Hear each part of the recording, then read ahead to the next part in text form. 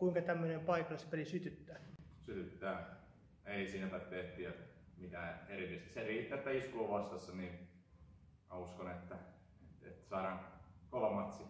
Itseä sytyttää ja kyllä mä oon sen verran tässä tota, poikiakin seurannut, että aivan varmasti sytyttää heitäkin. Ei tarvitse etsiä sellaista motivaatiota.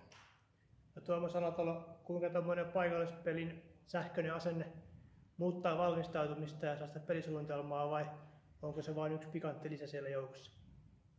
No nimenomaan ehkä kuitenkin enemmän semmoinen pikku lisä, että se ehkä taas sitten kun tavallaan se pelipäivä tulee, niin mennään sinne kentälle, niin täytyy, täytyy se lataus olla niin sanotusti kohdallaan, että en, en tosiaankaan usko, että se jää vajaaksi, vaan mutta nimenomaan, että ettei se mene yli, että me kuitenkin pysytään siinä meidän pelisuunnitelmassa. Mutta hieno homma päästä iskuun vastaan, että vahva joukkue, hyvin valmennettu joukkue. Että tuolla me ollaan jo Tampereen Akatemia aamureeneissa Kososen hengessä kyräyty toisiamme.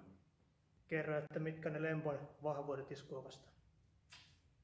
Kyllä se varmaan toi meidän vastaanotto on ja no vastaanotto, syöttö vastaanottohan se on, että siihen kaikki pelit melkein ratkee, se on syöttö vastaanotto, että sitä kautta kaikki muukin loksahtaa paikalle hyvin helposti.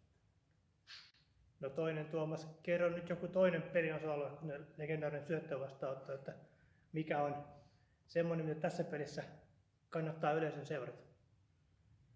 Meidän, meidän omalle torjuntapelille hyvä haaste, että isku pelaa aika, aika vikkelän laitotempoa varsinkin niin kuin, niin siinä tavalla, että joudutaan todennäköisesti tekemään aina jossain rotaatiossa tiettyjä valintoja ja sitä kautta sitten torjua ja puolustaa tietyllä tavalla. Että, ja on mielenkiintoista nähdä, miten pysytään iskun mukana.